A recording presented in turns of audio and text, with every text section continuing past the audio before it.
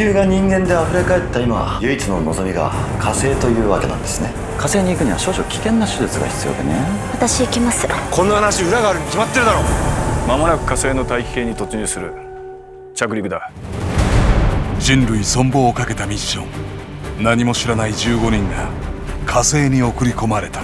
俺たちは犯罪者以下の人間なんだって。地球のゴミが火星のゴミ掃除に向かう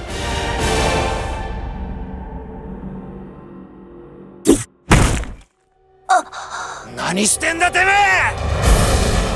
あの化け物は何だ？政府はテラフォーマーと呼んでいる。森木もやられた。想像以上に生命力が強かった。俺がいる。これだけの数を相手にかテラフォーマーが接近してきます。俺たちは必ず生きて帰る。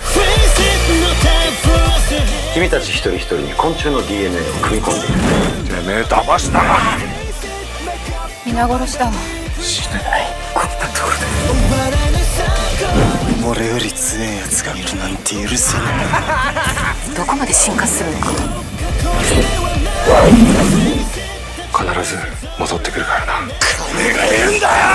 生きて地球に帰れ。俺の友達だ。テラフォーマーズ